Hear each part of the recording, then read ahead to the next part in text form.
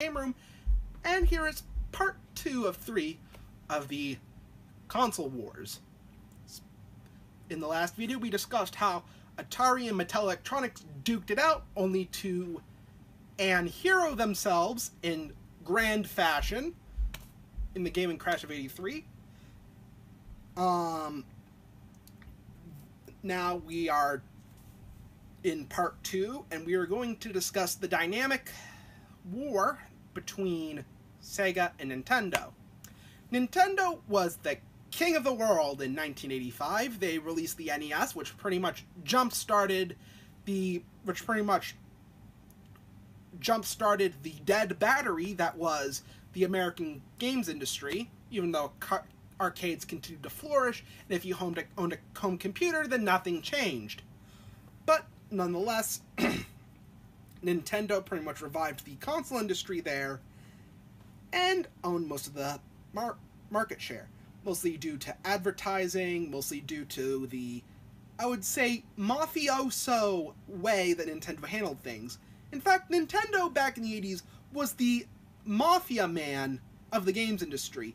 They forced developers into, stu- into stuffy, stiff contracts that forced them to release three games per year, but only for their system, to buy everything from dev kits to blank cartridges from Nintendo, and Nintendo even did the worst possible thing and underdelivered games and systems to retailers. Thus, there is a always a sort of fake, artificial, manufactured scarcity of Nintendo shit. The reason why was Nintendo was always underdelivering. In fact, you can learn all these things by reading the book Console Wars. It's a book about Sega and Atari. It's over there somewhere. Forgot who wrote it. Anyway, so Nintendo was owning everything. Sega wasn't so good. In fact, they had a horrible start with the Master System because they thought, oh, let's give the American rights to Tonka. You know, if they're good selling, if they're so good selling little yellow trucks, maybe they would be really good at selling video game systems. They weren't. Simply put, they weren't. And so uh, Sega set up offices in America, took that away from them, but by then the damage was done. And so Sega was like, all right, fine, let's make a 16 bit console. And so they took an arcade machine, shaved off a bunch of its bits, and then turn it into the Mega Drive, which later got ported to the Americas as the Genesis. I have one right over here. And then Sega would was, you know, we're like, all right, what can we do to kick Nintendo in the ass? And so Michael Katz, president of Sega of America, was like, let's do a tar- Sega does when Nintendo don't. Which was a catchy sort of jingle with like flashy, in your face advertising involving Sega games. Even though it was really iconic and really famous, it really didn't do Sega a lot of good. In fact, according to the book uh, Console Wars, it didn't do too hot, and so Michael Katz got replaced by Tom Kalinske, who decided on several different things. One, to cut the price of the Genesis.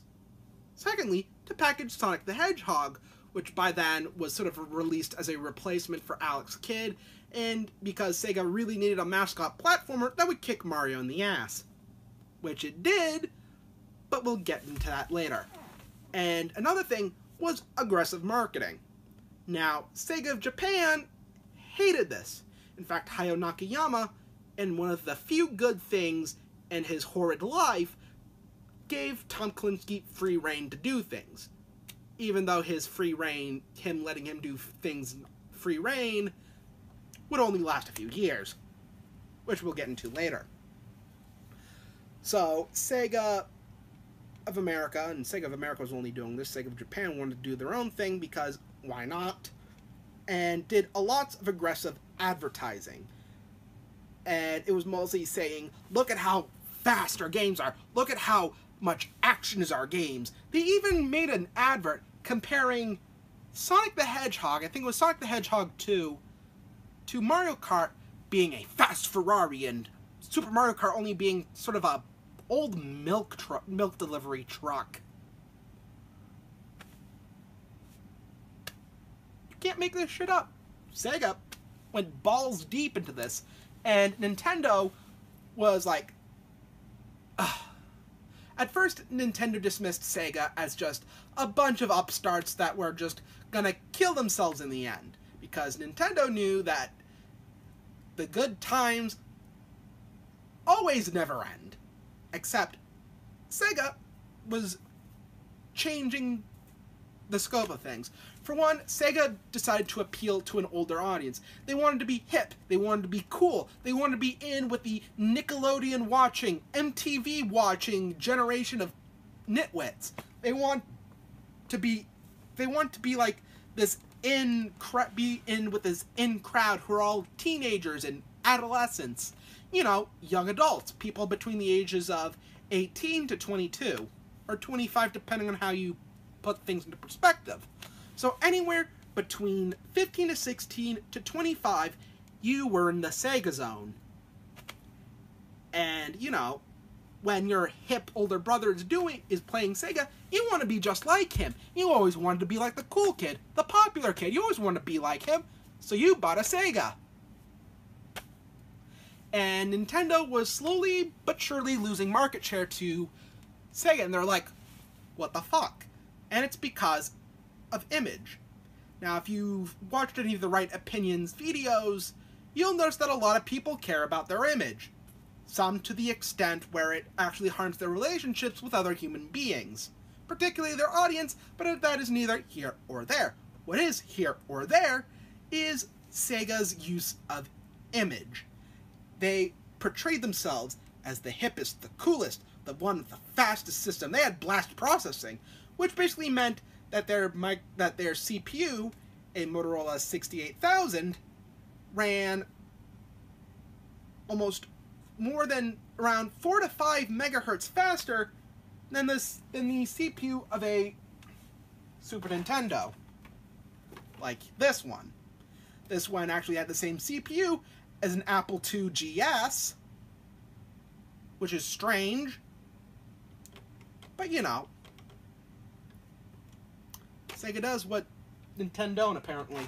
So, then Nintendo was like, alright, we need to really kick things into high gear. And they started the Play It Loud marketing campaign, which tried to rebrand Nintendo as less of this family friendly Disney sort of image into a cool, hip, sort of MTV thing.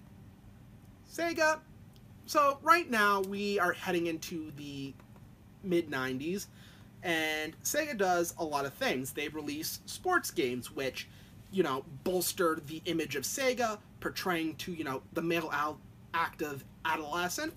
They release you know, arcade games which, you know, with Sega's faster CPU allowed itself to handle shoot 'em ups. Like for instance, you can definitely without a doubt, port Touhou Project 6 Embodiment of a Scarlet Devil to a Sega Genesis without making any sort of compromise. A Super Nintendo, you bet your ass that Reimu Hakurei is going to move so slow and that the Danmaku is going to be so reduced, it wouldn't become a bullet hell anymore. It would just become Purga bullet purgatory. Because Sega does what Nintendo don't, and that's being able to handle Touhou's ratchety ass. Anyway, so Sega decides, well, let's be on the cutting edge and release add-ons for our system. By the way, I don't have any problems against add-ons, alright? Add-ons are a great way of expanding your system's capabilities without, you know, without, you know, making a new system. Like, for instance, the Mattel voice synthesis module. Half the shit that you plug into a ColecoVision, like a steering wheel. Or that little thing that lets you play 2600 games on a ColecoVision. I am not against the idea of it, so long it's reasonably priced and so long it upgrades the system's capability to an acceptable degree, then it's okay my book. Except they didn't.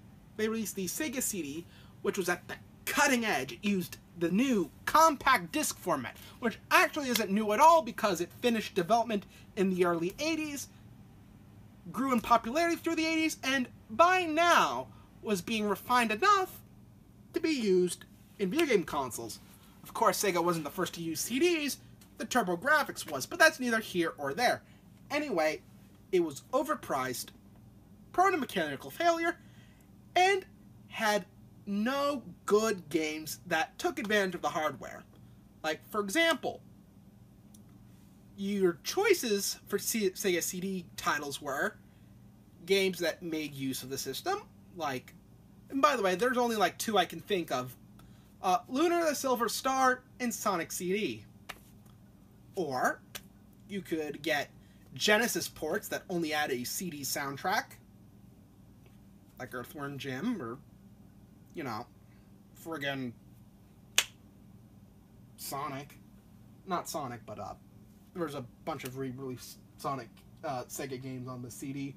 Um, you could get, or you could get shitty FMV games, like Sewer Shark. I used to own Sewer Shark until it disappeared several years ago. And it was a turd of a game. I have no idea how to play it. And then you have Night Trap, which, you know, is alright. If you like Five Nights at Freddy's and you're severely entertained with a bunch of fake ass animatronics created by a Christian dude, then you're gonna love Night Trap oh boy, if you love the Five Nights at Freddy's franchises, oh boy, wait until you pop in Night Trap. Strap yourselves in, boys, cause oh boy, it's gonna be a wild ride what Night Trap is gonna be for you, for you FNAF fans. And yes, I am being sarcastic. Um, so, Sega decided, oh, let's shoot ourselves in the foot. As Donald Trump would go, bing, bing, bing. So they go bing, bing, bing in their foot a couple of times. And then and Sega was like, well, that's fine, so long we don't do it again. And they did it again with the 32X. And so, by the way, the 32X was kind of a weird story. At first, Tom Kalinske was against it. He said, bruh, this is gonna, this is going to make our market share tank because it's going to split up whatever systems we that we have to support. I can barely get developers to make shit for it as it is. But then Hayao Nakayama, being a asshole that he is, decides to push it onto him and release it anyway. Which didn't do so well. In fact, the 32X was meant to be a sort of low budget, sort of alternative to getting a Saturn you can get the hot new Saturn for 499 or just for like 200 bucks, you can get a 32X that you plug into your Genesis, which in theory was great. But the thing was, Sega wasn't a computer manufacturer, where by the way, that's okay. Or if you're in the automobile industry, which that is okay too. Both the computer industry and the automobile industry love making less powerful slash more powerful and medium powered versions of the same bloody product. Anyway, but video game systems, you need one product. Two if you're going handheld. That's it. And Sega pretty much split their resources and shot themselves in the foot. Bing, bing, bing, bing. And then so and then Nintendo was like, guess what? Two games. They needed two games to kick Sega in the ass. Star Fox and Donkey Kong Country. Star Fox used the Super FX chip, which allowed the Super Nintendo to have rudimentary 3D graphics, some of which can be texture mapped with little sprites, but that's eh. But at when it was released, Star Fox was the most amazing game ever. 3D on a 16-bit console that only had a 3 point, you know, 5 something speed, clock speed CPU. That is friggin' amazing. And then they decided, oh, guess what? For Donkey Kong Country, you don't need a Super FX chip, which, by the way, are built into the cartridges. So that's neither here or there. And Nintendo was like, oh, with Donkey Kong Country, you you got wonderful pre-rendered 3D sprites, and you don't need a Super F. We don't have to put a Super FX chip in it, and thus Nintendo was innovating by pushing their games forward, and they had to because the Nintendo 64, this sucker, wouldn't come out until 1996, so they need to extend the Super Nintendo's lifespan by releasing these sort of games. And so they did, at Sega's expense. Sega, going into 1995, was a rough year for them. Hayao Nakayama was sort of pulling the rug from underneath Tom Kalinske. Tom Kalinske had his hand tied behind his back, and at a fateful dinner, Hayao Nakayama said, release the Saturn or else. And Tom Kalinske was like, make me. And he said, okay, I will. Do it. He was like, fine.